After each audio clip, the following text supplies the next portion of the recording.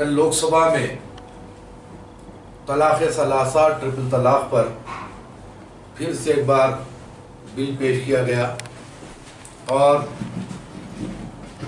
بل parliament میں منظور بھی ہو گیا۔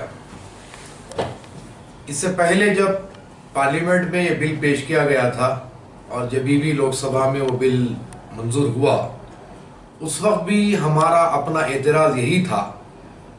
کہ وہ بل کو جو تیار کیا گیا، وہ جو بل کا مسودہ ہے، وہ تیار کرتے وقت نہ کسی مسلم علماء سے اس بارے میں مشاورت کی گئی، نہ کسی مسلمان دانشوروں سے اس بارے میں مشاورت کی گئی، نہ تو کوئی بھی سیاسی قائدین جو مسلمانوں کے قائدین ہیں، سیاسی قائدین، ان سے بھی اس بارے میں کسی قسم کی بھی کوئی مشاورت نہیں کی گئی۔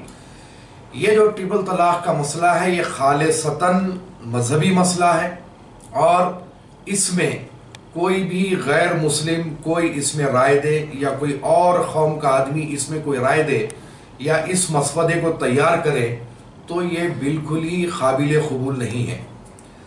جب سے دو ہزار چودہ میں مرکز میں بی جے پی حکومت قائم ہوئی ہے، اس کے بعد سے لے کر کے کل تک کے جو حالات رہے کسی طریقے سے مسلمانوں کو ڈیمیج کرنے کی، ان کے مذہبی معاملات میں مداخلت کرنے کی ایک کوشش کی جا رہی ہے۔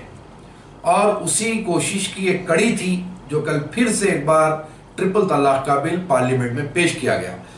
اب یہ بات تو طے تھی کہ ان کی جتنی میجورٹی پارلیمنٹ میں ہے، اس حساب سے بل جو ہے فیل ہونے کا تو سوال نہیں تھا، نامنظور ہونے کا تو سوال نہیں تھا۔ کیونکہ ہماری اپنی جو تعداد پارلیمنٹ میں ہے وہ بہت کم ہے۔ جو بھی لوگ پارلیمنٹ میں اس بل کی مخالفت کی ہے، اس میں ایک بیرسٹر اسد الدین اویسی صاحب ہے بدر الدین اجمل صاحب ہے اکا دکا ایسے کچھ لوگ ہیں جنہوں نے اس بل کی مخالفت کی۔ تو یقینی بات تھی کہ پارلیمنٹ میں بل تو منظور ہونا تھا۔ اس سے پہلے کے بھی حالات جب آپ دیکھیں گے تو صرف وہی آواز تھی جس کا نام اسد الدین اویسی صاحب ہے انہوں نے ہی اس بل کی مخالفت کی تھی اور کل بھی ڈنکے کی چوٹ پر بڑے ہی شدت کے ساتھ اس بل کی مخالفت کی گئی۔ لیکن میجورٹی ان کی ہونے کی وجہ سے وہ بل پاس ہوا۔ کانگریس جو ہے بائیکاٹ کی، واک آؤٹ کر کے چلے گئی۔ تو ان کے واک آؤٹ سے بھی کوئی اثر ہونے والا نہیں تھا۔ اب رہا سوال کہ یہ جو بل پیش کیا گیا اور یہ جو بل کو منظور کیا گیا، تو کیا مسلمان اس بل کو منظور ہونے پر شریعت پر چلنا چھوڑ دے گا؟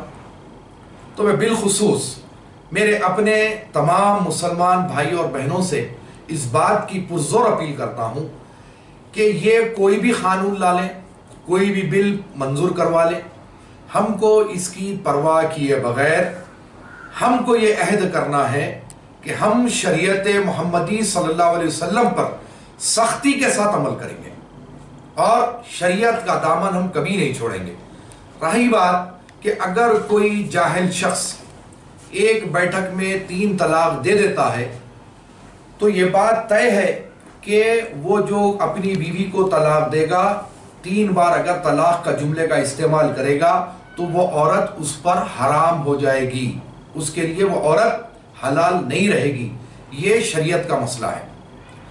اب اگر کوئی جاہل قسم کا انسان اگر یہ غلطی کر بیٹھے اور سزا کے ڈر سے نہیں، میں تین طلاق نہیں بولا، میں ایک بولا۔ تو خدا کے لیے ایسی حرکت مت کرو۔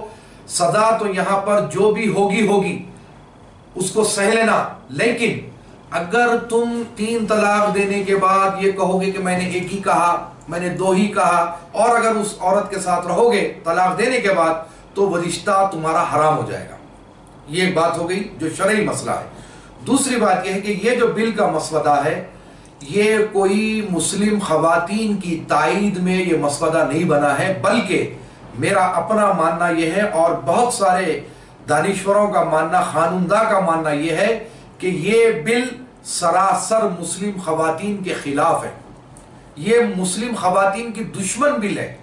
یہ نوجوانوں کو مسلم نوجوانوں کو جیل میں ڈالے گی اور ہماری اپنی مسلم خواتین، ہماری بہنوں کو روڈ پہ لانے کا انتظام کیا جا رہا ہے۔ کیونکہ جب کسی مرد کو تین سال کی سزا ہوگی تو وہ خواتین، وہ عورت عورت کو پھر وہ اپنے پاس واپس نہیں بلائے گا۔